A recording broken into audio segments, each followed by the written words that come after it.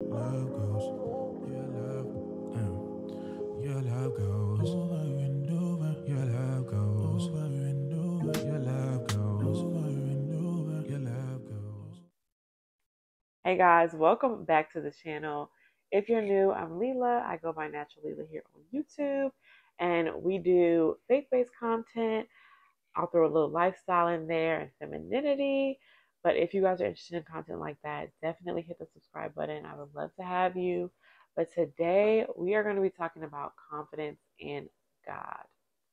If you have an area in your life where you are struggling to trust God, I encourage you to have confidence in the Lord.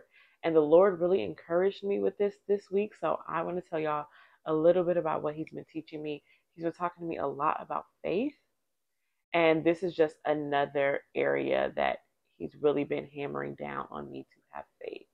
So the other day, I was in prayer, and typically at the end of my prayer, I will ask God if there's anything that He has for me today. I'll ask the Holy Spirit to reveal anything that I need to lean into, anything that um, He wants me to know, anything I'm missing, and I'll just listen. And so the other day, I heard confidence.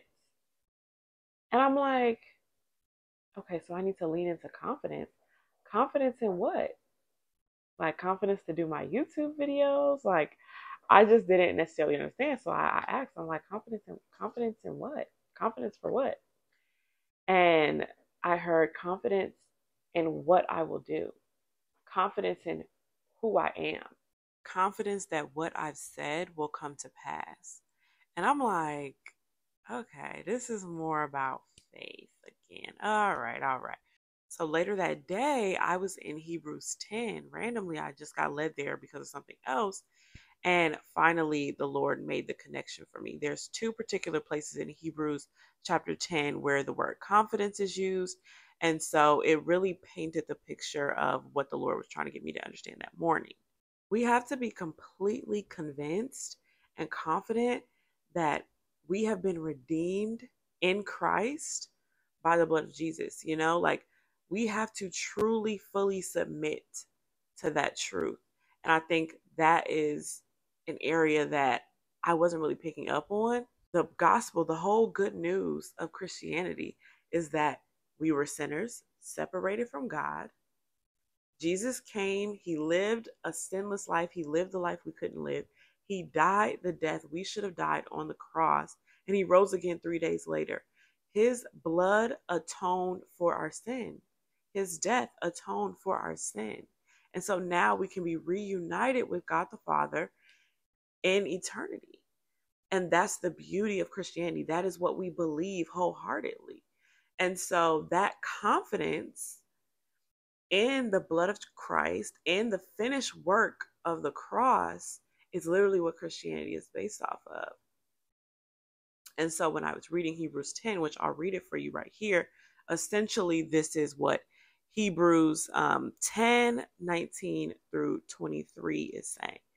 Therefore, brethren, since we have confidence to enter the holy places by the blood of Jesus, by the new and living way that he opened for us through the curtain, that is, through his flesh.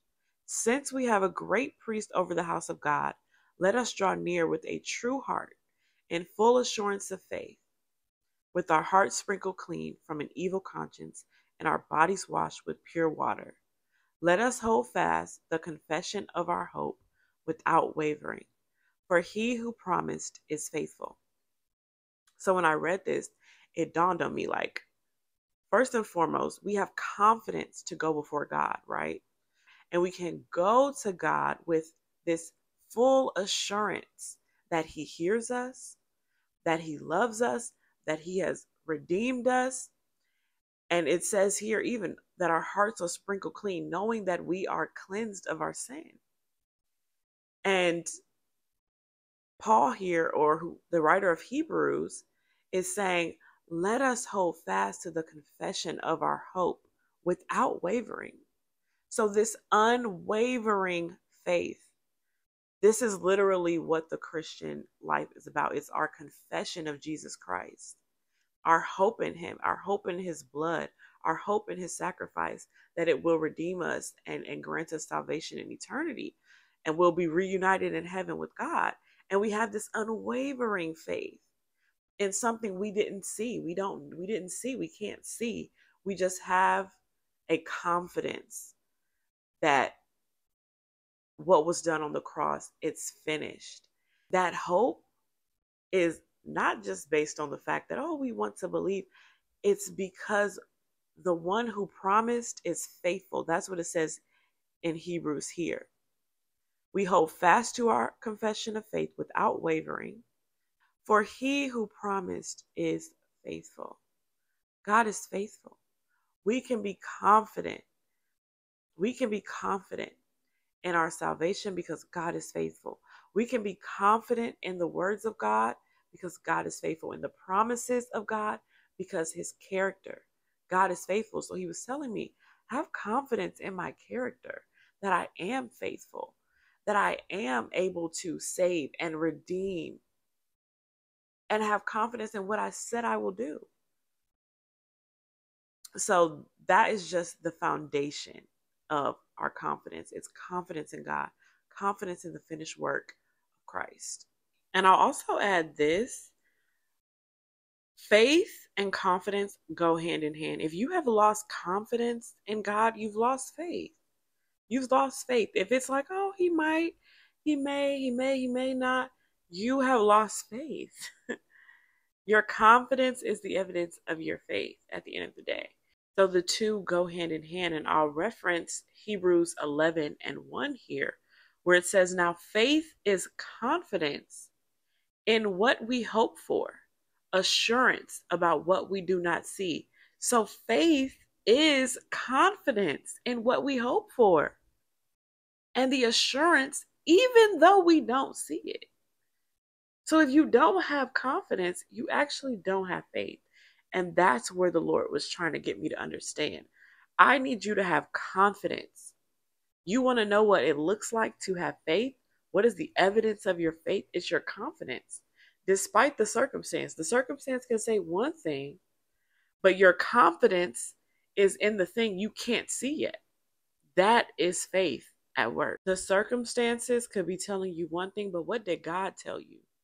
And are you still standing on it? Are you still believing Him with full assurance that it will be done. If you're double minded about it, you've lost faith. You've moved into doubt. Your confidence should be in the faithfulness of God, that He will do what He says, that the thing that you have hoped on will be fulfilled by Him, and that it will be good, and you can have full assurance now, even though you don't see it. So it sounds crazy to people. It's like, why are you so sure? Why are you so confident that that's what's going to happen? Because the God I serve is faithful. He's faithful, and my faith is in Him. So I can have this confidence in Him, even when I don't see it, even when it doesn't make sense to anyone else. So we have to grab hold of our confidence in God as the evidence of our faith. And then the second verse in this chapter that talks about confidence is Hebrews 10 35 through 36. So do not throw away your confidence, it will be richly rewarded. You need to persevere so that when you have done the will of God, you will receive what He has promised. We need confidence in God to endure till the end of this walk with Christ and receive the promise and the reward of eternal life with Him.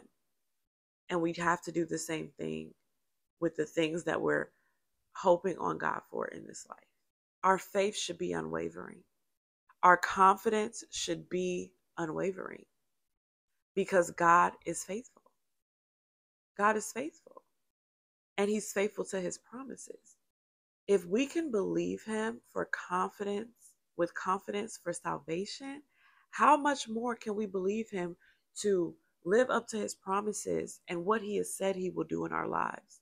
How much more can we have confidence that he will be faithful in our health, in our families, in our finances, in our relationships? We should have confidence in the God that we love and the God that we serve. We should have confidence in Him. And I know it's not easy. It is not easy to keep faith, to be confident in the things that God has said when you don't see it, when it's been taking a while, when things are looking the total opposite. But let me show you why this is important, why you have to double down, why I'm doubling down on this point about confidence, about faith. Because without it, you literally shot yourself in the foot. You have to fight to get that confidence and that faith back in God. Here in James 1, verse 6, it says, But when you ask, you must believe and not doubt. Because the one who doubts is like a wave of the sea, blown and tossed by the wind. That person should not expect to receive anything from the Lord. Such a person is double minded and unstable in all they do.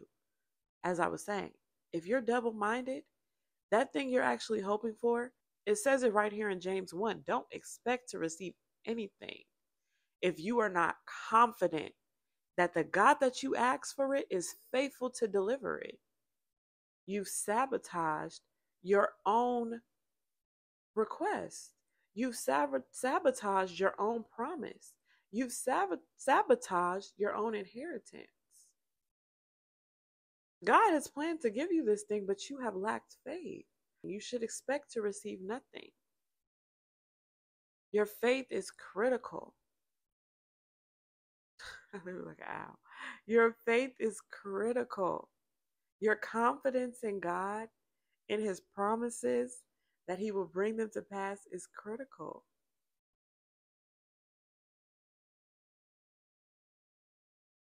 Even when Jesus went to his hometown, the people doubted him. He performed very few miracles there because the people did not have faith. Faith is a requirement to receive the promises, to receive the inheritance that God has for us. Faith is a requirement. If you don't believe in the crucifixion, if you don't believe in the Lamb of God, why would you expect to receive the reward and the promise of salvation if you have not believed and endured in that belief until the end? So it's the same thing with anything we're hoping for from God in this life and anything that He has ordained to give us. We have to have full assurance. And the crazy thing is, as I'm sitting here preaching to y'all, I'm preaching to myself because I was not believing God in a particular area of my life. I had lost confidence that his hand would move, basically, that he could actually work a situation out for good. I knew he could, but I didn't know that he would. I lost confidence that he would do it. I'm like, well, you haven't done it all this time. So I don't know if you're actually going to do it at this point. And the thing is, why God took me through this whole journey through Hebrews is to show me how to get my confidence back and it's by looking at the cross. If you are a Christian and you have lost confidence in God, remember the blood that was shed so that you could have salvation. Remember your confidence in Christ. What is all of your faith even based off of? It's based off the finished work of the cross, the promise of God to redeem his people, and the fulfillment of that promise. And then once you've remembered that, remember all the promises that God has made good on. Remember the times that He has come through for you in at the last second in the clutch. Remember the things that He blessed you with that you were not deserving of. Remember the all the times that He has been faithful. You didn't see it then, but you're living in it now. And it'll be the same thing with whatever you're struggling to trust God with. You don't see it now, but you'll be living in it if you have confidence that He will do it. It'll be a testimony. Remember your testimony. Remember what God has done in your life. Go to that altar of remembrance. Remind yourself the goodness of God. Remind yourself how faithful He has been to you. Remind yourself the times He saved you, the time He redeemed you, the thing He's delivered you from, the situation that looked hopeless, but somehow He made a way. So encourage yourself by remembering those things and then apply that confidence to the thing that you're still hoping for. And then get into the Word. Read the promises of God. Read stories where God's character is highlighted for whatever you're trusting Him for. It's so critical that we renew our mind with the Bible and that we use it to learn and to understand our God. Remember His promises and believe that they are for you, not just in the next life, but in this one. And then lastly, pray. If you are struggling with faith, pray to the Lord. Ask for the grace to believe. Ask Him to help your unbelief. Ask Him for confidence in Him. You can ask Him for a sign. You can ask Him, Lord, show me that you are still with me. Show me that you're still working in this situation. Help my unbelief. Help my unbelief. That's what the man did when Jesus was trying to heal his son. And Jesus was able to heal him. And also ask others to pray for you and to encourage you. Listen to other people's testimonies that have been in that similar situation that you're in, that you're trusting God in, and how God has moved. If He can do it for them, He can do it for you. So, yeah, those are my tips. And yeah, that's just what I learned from the Lord about confidence and about faith. And I think I'm going to keep going in this faith series as long as the Lord is leading me in this area because it's just so important. It's so important. And it really will transform your walk with the Lord um, to walk in confidence and full assurance and faith. We have to have it. It's the foundation. It's the foundation of our relationship with Him. So, yeah, I hope that was helpful. I hope that was encouraging. I hope you're able to reflect on areas in your life where you are not trusting God, you're not operating out of faith, and you've lost confidence in God, in who He is, in what He said, and in what He can do. Be confident in God. Hold on to that full assurance, hold on to the hope, and endure in times of trial so that you will receive the reward. Salvation, first and foremost, being the reward, connection with God, first and foremost, being the reward, but also all of the benefits that He's promised us in His Word. Thank y'all for watching. Be blessed. I love you. God loves you. Stay encouraged. See you next time. Bye.